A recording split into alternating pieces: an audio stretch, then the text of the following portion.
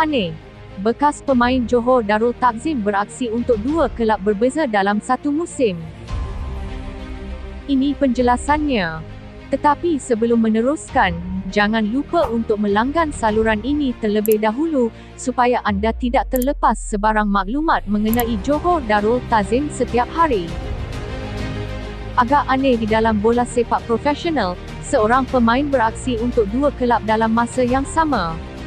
Tetapi perkara tersebut bukanlah sesuatu yang aneh dalam Liga Amatur.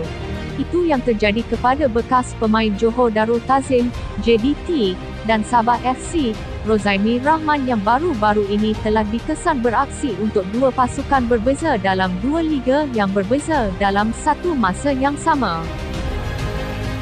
Bagi musim 2023, Rozaimi dilihat beraksi untuk kelab dari Sarawak, Macan FC dalam saingan Piala Al-Ihsan 2023 bagi Liga M4.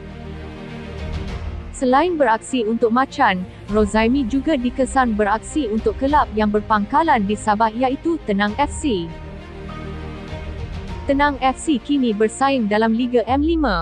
Selain Rozaimi, bekas pemain Pining FC dan skuad kebangsaan, Azizan Nordin juga melakukan apa yang dilakukan Rozaimi.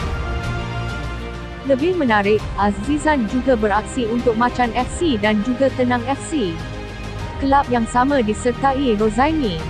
Macan FC kini berada di tangga teratas zon 3 Piala Al-Ihsan dan mereka belum pernah tewas setakat ini. Tenang FC yang beraksi di Lig juga memimpin carta dengan mengumpul 6 mata penuh selepas mencatatkan dua kemenangan pada dua aksi yang telah diharungi. Bagaimana menurut anda? Sila sertakan komen anda di kolom komentar.